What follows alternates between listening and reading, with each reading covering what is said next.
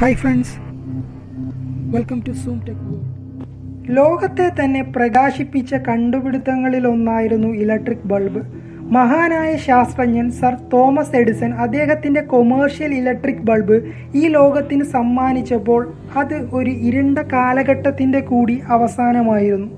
മണ്ണെണ്ണ വിളക്കുകൾ മാത്രം ഉപയോഗിച്ചിരുന്ന കാലഘട്ടത്തിൽ നിന്നും മനുഷ്യൻ പിന്നീട് തന്റെ വീടുകൾ പ്രകാശം പരത്താൻ ഇലക്ട്രിക് ബൾബുകൾ ഉപയോഗിച്ചു തുടങ്ങി.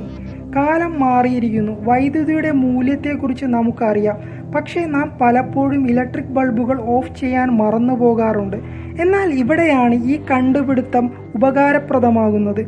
ഹ്യൂമൻ ഡിറ്റക്ഷൻ ലൈറ്റ് അതായത് മനുഷ്യന്റെ സാന്നിധ്യത്തിൽ മാത്രം ഇലക്ട്രിക് ബൾബ് ഓണാകുന്നു. ഉദാഹരണത്തിന് നിങ്ങളുടെ വീട്ടിലെ റൂമിൽ ടേബിൾ ലൈറ്റ് ഓൺ ചെയ്ത് പുസ്തകം വായിച്ചു കൊണ്ടിരിക്കുകയാണെന്ന് ചിന്തിക്കുക. അപ്പോൾ പുറത്തുനിന്ന് ആരോ വിളിക്കുന്നു. പെട്ടെന്ന് നിങ്ങൾ പുറത്തേക്ക് പോകുന്നു.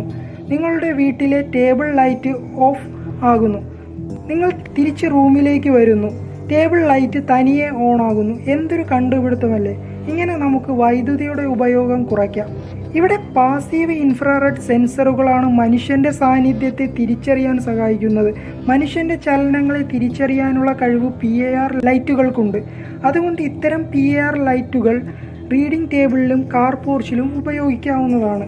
എല്ലാ കണ്ടുപിടുത്തങ്ങൾക്കും പോരായ്മകളുണ്ട്. ആ പോരായ്മകളിൽ നിന്നുമാണ് പുതിയ കണ്ടുപിടുത്തങ്ങൾ ഉണ്ടാകുന്നത്.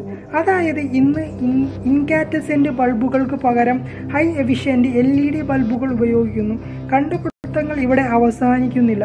ബഹുരാഷ്ട്ര കമ്പനിയായ പാനസോൺ പി ആർ ബൾബുകൾ ഈ ലോകത്തിന് പരിചയപ്പെടുത്തി കഴിഞ്ഞിരിക്കുന്നു.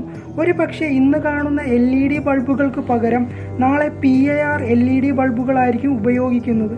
നമുക്ക് പ്രതീക്ഷിക്കാം.